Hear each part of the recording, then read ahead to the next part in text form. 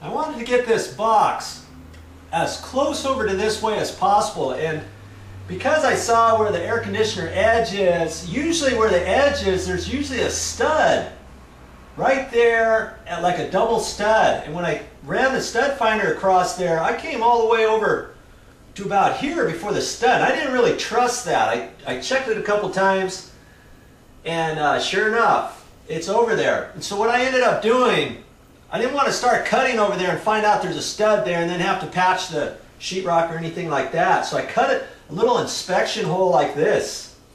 And then I just took a little piece of wire like this and I fished it in there to see where I could feel the edge of a stud. Sure enough, there's a stud over there. I can hold that right there with my finger. Whoops. Butter fingers. Joe, come on. Let's try that again. Right there, and I held that across over there right to there, boom. Just where the stud finder told me it was, from there that way. So there's, there's the studs over there. So I know I can cut this all the way over there.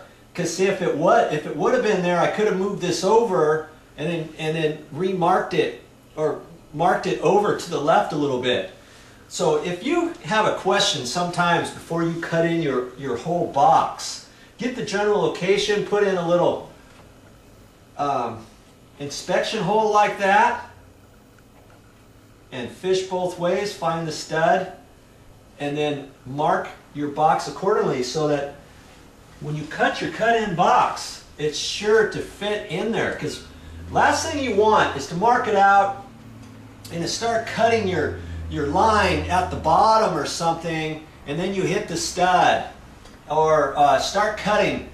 Um, what I would recommend when you cut, Here's another tip for you. All about tips.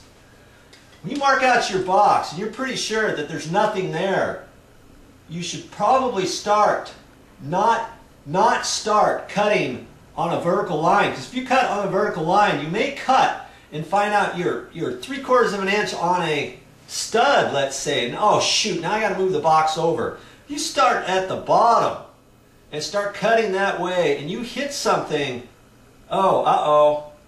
That's where the stud is. Okay, I've only cut this. Now I can extend the line over this way, remark it, and then erase the line over here. Whew. At least I don't have to patch a sheetrock. You know, so there's a tip for you. Can't tell you how many times I've seen somebody try to cut in a box. Oh, I just put it right here. Yeah, there's that's no no problem. And then they start cutting the vertical line first. And you know, they just weren't thinking.